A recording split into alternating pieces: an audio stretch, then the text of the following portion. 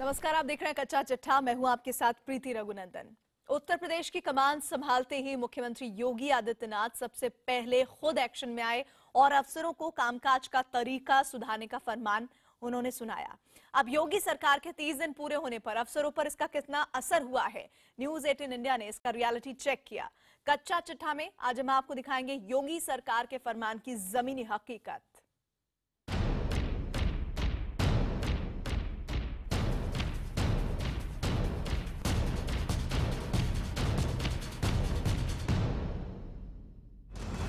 कुर्सी संभालते ही मुख्यमंत्री योगी आदित्यनाथ ने जनता से एक वादा किया था। दो तो महीने के अंदर हम उत्तर प्रदेश के अंदर एक ऐसी स्थिति पैदा करेंगे कि उत्तर प्रदेश की आम जनमानस को लगने लग जाएगा कि सरकार कैसे चलती है और कैसे चलनी चाहिए। वादा था सूबे में अफसरों के कामकाज का तरीका बदला जाएगा। जो 18 से 20 घंटे हम लोग हम लोगों के साथ काम कर सकते हैं वही यहाँ रहे अन्यथा लोग अपना रास्ता तैयार कर लें।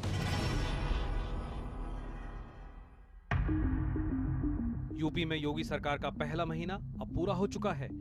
अब मुख्यमंत्री के फरमानों का अफसरों पर कितना असर हुआ ये जानने के लिए न्यूज़ एटीन इंडिया की टीम प्रदेश में जमीनी हकीकत पता करने निकली। दिखाएँगे कि नगर आयुक्त के बोर्ड पर 10 से 12 बजे मिलने का समय लिखा हुआ है लेकिन पूरे ऑफ़िस में सन्नाटा पसरा हुआ है। उप निदेशक यांत्रिक विजयन सिंह का कमरा है। विजयन सिंह इस वक्त नहीं है कुर्सी पे। तमाम दावे किए जा रहे थे कि तमाम अधिकारियों पर नकेल कसी जाएगी। सरकार के दावे धरती पर कितना उतरे हैं ये जानने हम बागपत के बड़ौद में हैं।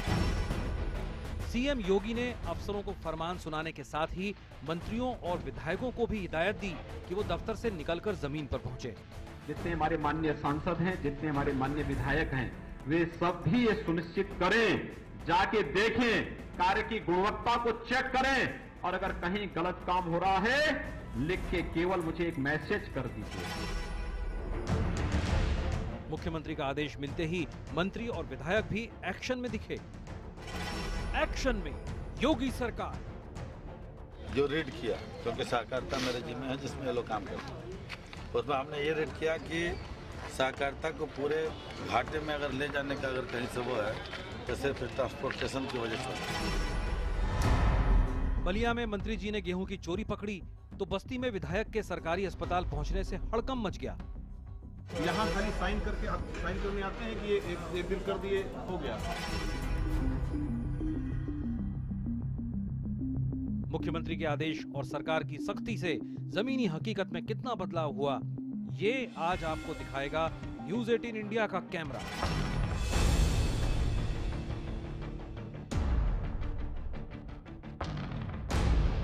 क्या वक्त पर आने लगे अफसर? क्या अफसर मुस्तैद हुए हैं? न्यूज़ 18 इंडिया के कैमरे ने अफसरों की हरकत कैद की तो साथ ही फरियादियों की गुहार भी सुनी। अधिकारी नहीं पहुँचे? जी नहीं। सुनवाई अभी हुई नहीं है। पहुँचे? अभी तो नहीं आया है। निकासी होने के ट्रक यहाँ पर खड़ा रहता है। और ये कॉल से और से गड़ा सा पानी लेकर जो उसको बोरी पर गिराया मुख्यमंत्री योगी आदित्यनाथ का वादा था कि एक महीने के अंदर जनता को बदलाव दिखेगा। लेकिन प्रदेश में अफसर बदलने को तैयार नहीं दिख रहे हैं।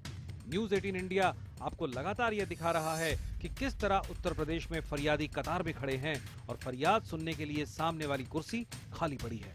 इसलिए प्रदेश में हर ओर एक ही गुहार सुनाई पड़ रही है। साहब हाजिर हूँ।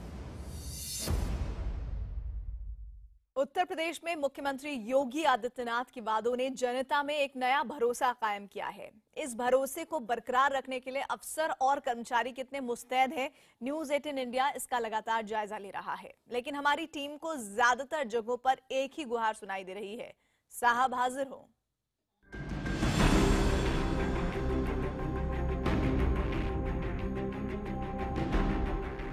यूपी की कमान संभालते ही एक्शन में आए योगी आदित्यनाथ।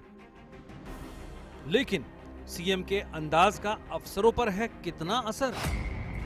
यूपी के निज़ाम और कमान में बदलाव का ज़मीन पर कितना असर हुआ है, ये जानने के लिए न्यूज़ एटीन इंडिया की टीम का प्रदेश के शहर शहर और गाँव गाँव में दौरा जारी है।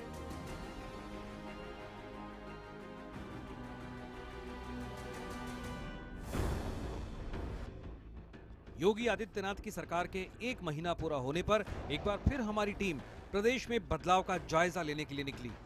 हम दर्जनों जिलों में सुबह 10 बजे अपना कैमरा लेकर हाजिर हो गए। हमारी टीम तो सुबह 10 बजे सरकारी दफ्तरों में पहुँच गई लेकिन नहीं पहुँचे तो वो अफसर और कर्मचारी जिन्हें इस वक्त अपनी कुर्सी पर होना चाहिए था। इस बार भी हमारी टीम को वही पुरानी तस्वीर मिली। फरियादी कतार में और फरियाद सुनने वाला कोई नहीं। अधिकारी नहीं पहुँचे? जी नहीं। हम आपको सिलसिलेवार ढंग से दिखाते हैं उन लोगों को जो हमारे कैमरे में कैद हुए। शुरुआत करते हैं प्रदेश की राजधानी से, जहाँ अब सीएम योगी आदित्यनाथ खुद 24 घंटे मौजूद रहते हैं, यानी लखनऊ। लखनऊ में हमारी टीम मंडी परिषद स्थित मुख्यालय में, जहाँ प्रदेश सरकार में मंत्री स्वाति सिंह का भी दफ्तर है, वहाँ पर हमारी टीम पहुँची तो सुबह के 11 बजने वाले थे। ये वो वक्त है जब अफसरों को अपनी कुर्सी पर होना चाहिए।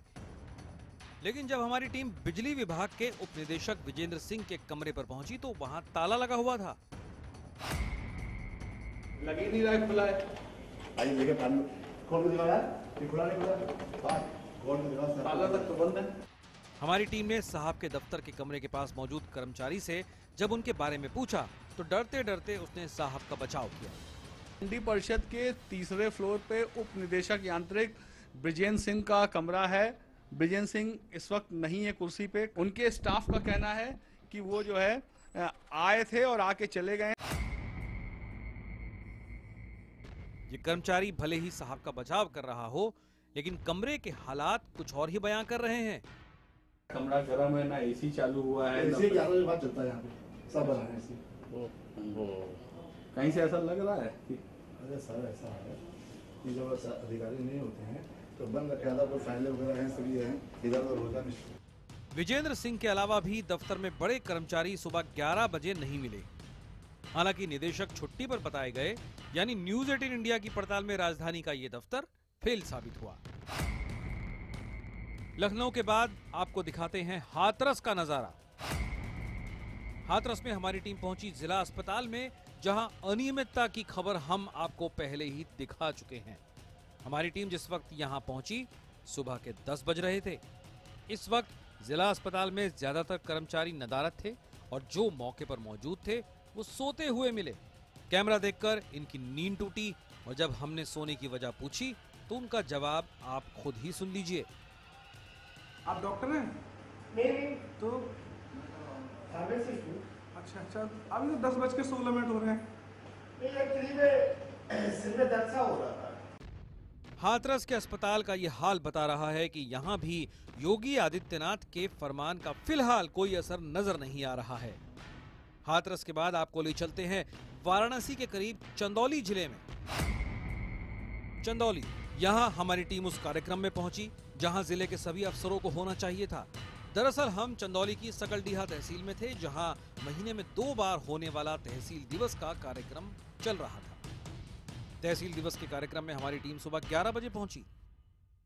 तहसील दिवस वो कार्यक्रम है जहाँ जनता की समस्याएँ सुनी जाती हैं लेकिन यहाँ सुबह 11 बजे न तो जिलाधिकारी पहुँचे न ही पुलिस अधीक्षक। ऐसे में फरियादियों का हाल उनकी ही जुबानी सुन लीजिए। था जमा कर दिए अब जा रहे हैं घर। कोई सुनवाई अभी हुई नहीं है। डीएमएसपी अभी तो नहीं आया है।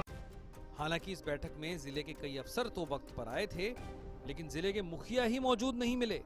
जो नियम है उसके अनुसार डीएमएसपी को यहाँ 10 बजे पहुँच जाना चाहिए, लेकिन साढ़े दस बजने को है और जिलाधिकारी और साथ में कप्तान साहब अभी भी यहाँ नहीं पहुँचे। चंदौली के बाद आपको दिखाते हैं मेरठ का हाल। मेरठ में भी हमारी टीम तहसील दिवस के ही कार्यक्रम में पहुँची। वक्त था सुबह के 10 बजे। यहाँ भी वही हाल। कुर्सियाँ खाली पड़ी हैं, फरियादी लाइन में खड़े हैं और घड़ी की सुइयाँ आगे बढ़ती गई, लेकिन अफसर नहीं पहुँचे। यानी यहाँ भी हमें तस्वीर में कोई बदलाव नहीं दिखा। मेरठ के बाद अब आपको दिखाते हैं योगी आदित्यनाथ के ज़िले, गोरखपुर का हाल। यहाँ हमारी टीम उसी वक्त पहुँची जब अफसरों का दफ्तर पहुँचने का वक्त होता है, यानी सुबह दस बजे। यह है गोरखपुर का विकास भवन, यानी जनता की भलाई की योजनाओं को तैयार करने का केंद्र। यहाँ भी हमें खाली कुर्सियाँ और लाइन में इंतज़ार करती जनता मिली। सीएम योगी आदित्यनाथ के ज़िले में भी तस्वीर नहीं बदली है।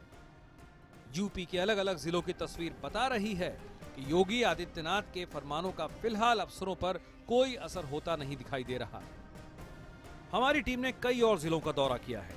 वहाँ हमारे कैमरे ने क्या कैद किया और क्या कहीं सीएम के फरमान का असर दिखा, ये भी हम आपको दिखाएँगे।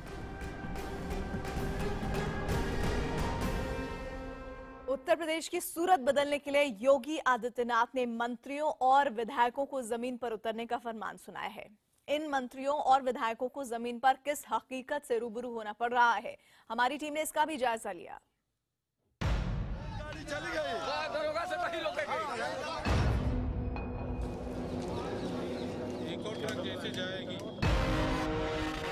मुख्यमंत्री योगी के फरमान के बाद एक्शन में है सरकार।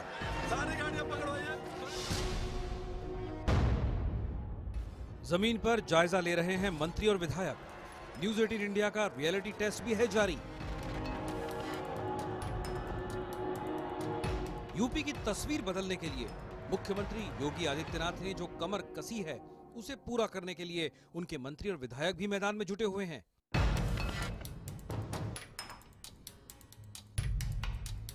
ये तस्वीरें बलिया की हैं। जहाँ राज्य मंत्री स्वतंत्र प्रभार उपेंद्र तिवारी गेहूँ के केंद्रों का जायजा लेने पहुँचे।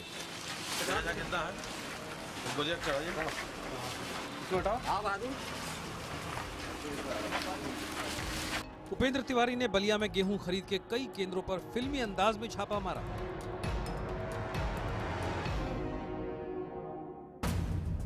यहाँ मंत्री जी को जो तस्वीर देखने को मिली उससे साफ़ हो गया है कि अफसर हैं कि मानते ही नहीं। पिछले क्या हो? जिला प्रबंधक अधिकारी। क्या कर रहा था और डिप्टी आरएमओ कहाँ उपेंद्र तिवारी को काफ़ी दिनों से ये शिकायत मिल रही थी कि गेहूँ के केंद्र पर किसानों के साथ ठगी हो रही है। इसका जायजा लेने जब वो खुद पहुँचे तो खलबली मच गई।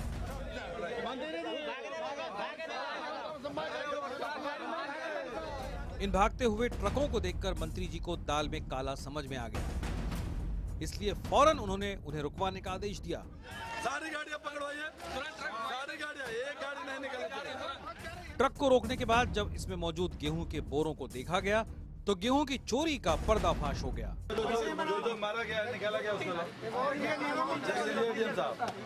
देख लीजिए ये है गरीबों के अनाज का सच। इस चोरी के सामने आने के बाद यहाँ मौजूद किसान ने गेहूँ के गंदे धंधे का पूरा तरीका बताया।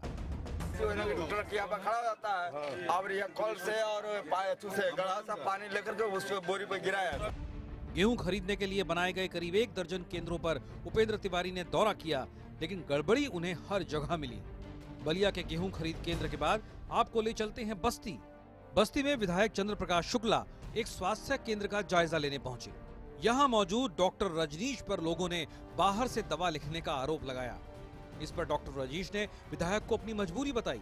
लिखना पड़ता है सर। या हर उस डॉक्टर को लिखना पड़ता है। मुझे शौक नहीं है सर बाहर से दवाई लिखने की इसके बाद नेताजी ने हाजिरी रजिस्टर देखा तो इसमें कई गड़बड़ियाँ नज़र आईं। यहाँ खाली साइन करके आप साइन करने आते हैं कि ये एक एक दिन कर दिए हो गया। इसके बाद मंत्री ने रजिस्टर पर अपने दस्तखत कर लोगों की हाजिरी के बारे में जाँच के आदेश दिए। तीन चार तो ऐसे कर्मचारी थे जो एक दिन बाद का अटेंडेंस लगा के बैठे हुए थे।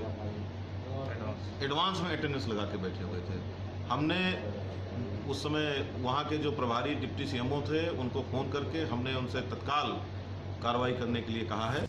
मंत्री और विधायकों के रियलिटी टेस्ट में भी यही साबित हुआ कि सूबे में अफसरों का रवैया नहीं बदल रहा है। ऐसा ही कुछ हमारी टीम को देखने को मिला जब हम पीलीभीत पहुँचे। पीलीभीत में हम 18 अप्रैल की सुबह पहुँचे। यहाँ कलीनगर तहसील में तहसील दिवस का कार्यक्रम था, लेकिन बहुत से कर्मचारी वक्त पर नहीं पहुँचे। अफसरों के देर से पहुँचने पर देर से शुरू हुए कार्यक्रम में अफसर कितने संजीदा थे, उनकी हरकतों से समझ में आ सकता है। पीलीभीत की ये तस्वीरें बताती है कि यहाँ भी सीएम योगी के फरमान का असर नहीं हुआ है। पीलीभीत के बाद आपको दिखाते हैं आगरा के नगर निगम की तस्वीरें। आगरा के नगर निगम में हमारी टीम 18 अप्रैल की सुबह 10 बजे पहुँची। नगर निगम के दफ्तर में भी 10 बजने के बावजूद कुर्सियाँ खाली हैं और अफसर गैर हाजिर योगी सरकार के एक माह पूरे होने को हैं, लेकिन नगर निगम में कोई हालात नहीं सुधरे हैं। हम आपको दिखाएँगे कि नगर आयुक्त के बोर्ड पर 10 से 12 बजे मिलने का समय लिखा हुआ है, लेकिन पूरे ऑफ़िस में सन्नाटा पसरा हुआ है। इनके दफ्तर को भी हम दिखाएँगे। वहाँ भी सिर्फ़ इक्का दुक्का कर्मचारी आए हैं। पश्चिमी उत्तर प्रदेश के आगरा के बाद आपको दिखाते हैं पूर्वी उत्तर प्रदेश के मऊ का रियलिटी चेक यहाँ भी तहसील दिवस का कार्यक्रम था, लेकिन यहाँ तस्वीर थोड़ी बदली हुई नज़र आई। मऊ में ज़्यादातर अफसर वक्त पर, मौके पर मौजूद मिले। हालाँकि इस कार्यक्रम में तीन अफसर मौजूद नहीं थे, जिन्हें जिलाधिकारी ने नोटिस दे दिया है। हमारे तहसील में तीन अधिकारी अनुपस्थित है। एक एएमए जिला पंचायत, एक जीएम डीआईसी और एक लीड बैंक मैनेजर डीएम और तीनों तीनों का स्पष्टीकरण मांगा जा रहा है। इस तरह न्यूज़ 18 इंडिया के रियलिटी टेस्ट में हमें मऊ में वो तस्वीर मिली, जिसे देखकर कहा जा सकता है कि यहाँ निज़ाम बदलने का असर दिख रहा है। न्यूज़ 18 इंडिया का मकसद है ये जानना कि मुख्यमंत्री योगी के फरमानों का कितना असर ज़मीन पर दिख रहा है। और हमारे रियलिटी टेस्ट में यही सामने आया कि अभी ज़मीन पर बहुत कुछ करने की ज़रूरत है। और इसी के साथ ही कच्चा चिट्ठा में बस इतना ही। अभी नज़र डालेंगे हेडलाइंस पर।